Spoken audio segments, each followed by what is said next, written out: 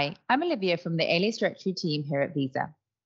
Today, I'm going to guide you through the lifecycle management APIs for the Alias Directory service. We'll cover how to create, update, retrieve, and delete data using these APIs. Please note that these APIs are relevant for clients using the local directory only. The Alias Directory service offers capabilities for clients to link aliases to payment credentials. An alias is an identifier such as a mobile number or email address that can be used in place of sensitive payment credential details. Users can simply share their mobile number or email address to receive funds from participating users, keeping their payment details secure. In the following sections, we'll see how Stacey uses the alias directory to create and manage her profile within her banking application. First, let's create a link between an alias and a payment instrument, like a card or bank account. You can do this using the Create Alias API. This API creates a consumer profile with their first name, last name, consent, and other supplementary profile data. Remember, Stacey's bank must ensure that they comply with all local applicable laws to enable the alias directory service. The alias directory service also allows you to link multiple payment credentials to a single alias at each participating financial institution. Let's see how Stacey does this. In this scenario, Stacey has registered her phone number at Bank A and linked her checking account and debit card to her phone number.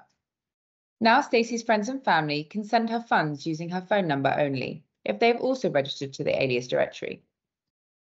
The Create Alias API also lets a user mark a payment credential as their preferred one for either sending or receiving funds. In our example, Stacey has made her debit card her preferred credential for receiving funds. This means any payment sent, to Stacey's phone number will be received into her debit card. To ensure great user experience, Stacey can update her preferred credential at any time, giving her the flexibility to choose where to receive funds when using multiple accounts. The alias directory service also lets a user register the same alias with multiple participants. This is common as a user often has the same mobile number registered at multiple FIs. So if Stacey wants to register with Bank B, Bank B can use the same Create Alias API to add more payment credentials under the same alias profile. However, as Stacey's debit card at Bank A is her preferred payment credential, it will remain the primary credential for receiving funds. If Stacey wants to add another payment credential, like a credit card to the same alias, Bank B can use the Create Payment Credential API to add this additional payment credential to her profile.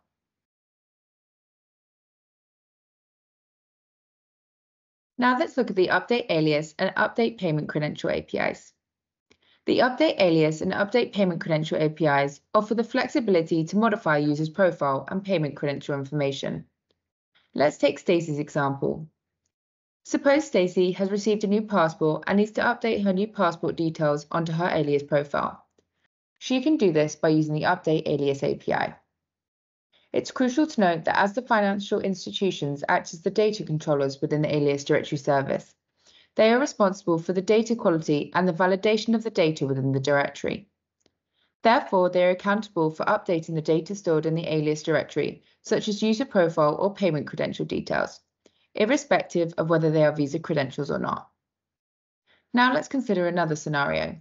Suppose Stacy has relocated and updated her address with Bank B.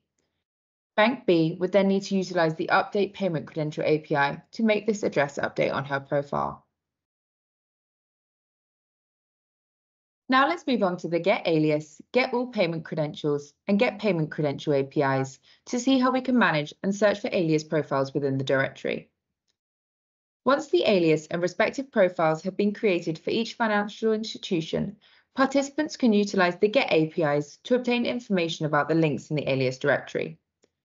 The Get Alias API, for instance, allows a participant to retrieve available details about a specific alias, such as identification, profile information, or consent.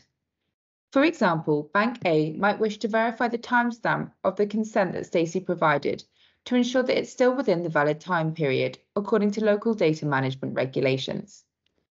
Or suppose Stacey is using Bank A's application and wants to see what payment credentials she has linked to her mobile number or check which of her payment credentials is currently marked as her preferred payment credential.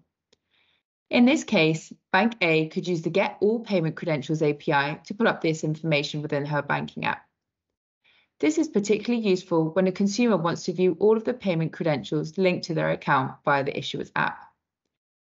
Alternatively, if Stacey wants to retrieve information on just one specific payment credential, Bank A can use the Get Payment Credential API. As we reach the end of the user journey, let's talk about the Delete Payment Credential and the Delete Alias APIs. These APIs are important for managing user data within the directory. If a user wishes to remove a payment credential, such as a card or bank account from their profile, while keeping the alias active, they can use the Delete Payment Credential API.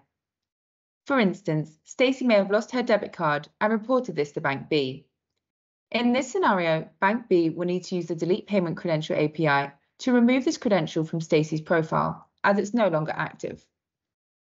Once they have issued Stacey with a new card and a new PAN, they will then need to use the Create Payment Credential API to add this new debit card back onto her alias profile. However, if Stacey decides to discontinue the service and remove her alias profile entirely from the financial institution, they will need to use the Delete Alias API. For example, Stacy might decide to remove her alias profile from Bank B. But remember, this won't delete Stacy's alias from Bank A, as the same alias is also registered there. We hope you found this tutorial useful. If you have any further questions, feel free to reach out to your Visa representative. We're here to help.